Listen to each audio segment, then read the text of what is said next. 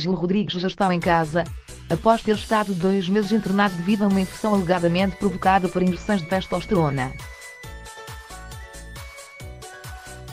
Na noite desta quinta-feira, 24 de outubro, o ator regressou às redes sociais para agradecer o apoio dos fãs e, com muito sentido de humor à mistura, disse-se ressuscitado e mais forte que nunca. Logo de seguida, voltou a ligar a televisão.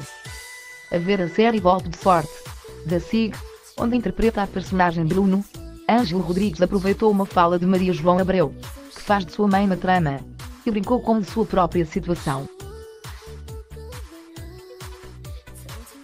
O importante é voltar a pôr de pé no nosso negócio, diz Maria do Céu, referente ao restaurante de que são proprietários. E o Ângelo, Maria João e o Ângelo, ouve-se Ângelo Rodrigues de fundo, à medida que filma a televisão.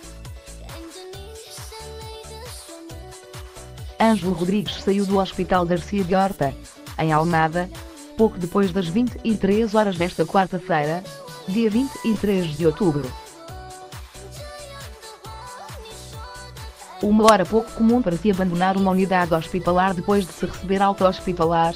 No entanto, é possível por diversos fatores.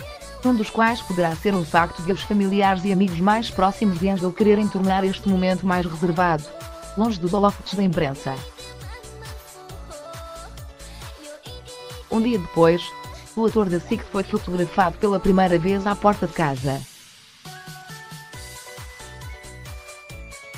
A revista VIP presenciou o momento em que o ator, de 33 anos, chega à habitação acompanhado pela mãe e verificou que Ângelo precisa de ajuda de muletas para se movimentar.